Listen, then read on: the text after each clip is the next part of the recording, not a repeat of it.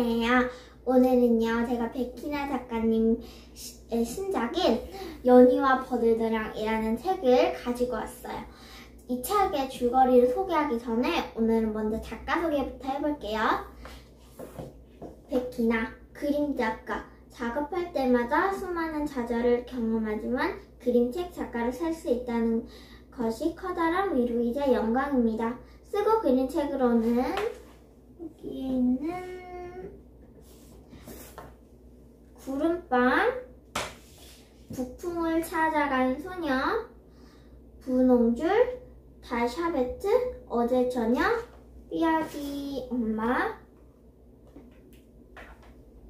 장수탕 선생님, 꿈에서 맛본 똥파리, 이상한 엄마, 알사탕, 이상한 손님, 그리고 나는 개다 등이 있습니다. 2022년 어린이 책의 노벨상이라 불리는 아스트, 아스트리드 린드그렌 추모상을 받았습니다. 이렇게 작가 소개를 셀레네가 지금 했고요. 여기 이건 커버고요. 이렇게 바뀌면은 약간 분홍색 커버가 나옵니다. 연이와 버들도령 커버는 책 속에 나와 있지 않은 장면이에요. 백희나 작가님이 커버를 위해 따로 만드신 걸까요?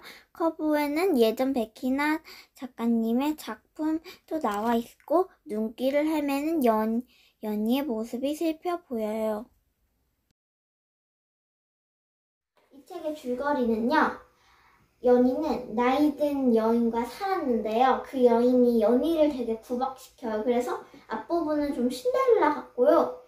어, 뒷부분은 이제 연희가 버들도령의 집을 발견하면서 생겨난 애들이 좀 많이 나와 있는데요. 그 부분 좀 슬픈 내용도 있는데 나중에는 행복해지는 그런 이야기예요. 근데 제가요, 이 책을 읽다가 되게 눈물 나고 슬픈 장면이 있었어요. 그 장면은요, 여기 있네요. 여기는 이 장면인데요. 이 장면은요, 버들도령의 뼈가 이렇게 있고요. 그 다음에 버들도령의 집도 다 타는 그런 장면이에요. 결말은 결국엔 행복하게 끝나지만 뒷부분이 좀 슬픈 그런 이야기예요. 베키나 작가님의 책이 되게 기다렸거든요. 그런데 이 책이 나와가지고 얼른 사가지고 여러분들에게 이렇게 소개해드리니까 너무 행, 너무 여러분들에게 알리는 것 같아서 좀 기분이 좋았어요. 다음 베키나 작가님의 책도 되게 기대가 되고요. 그럼 설레는 여기서 마치도록 하겠습니다. 여러분 안녕!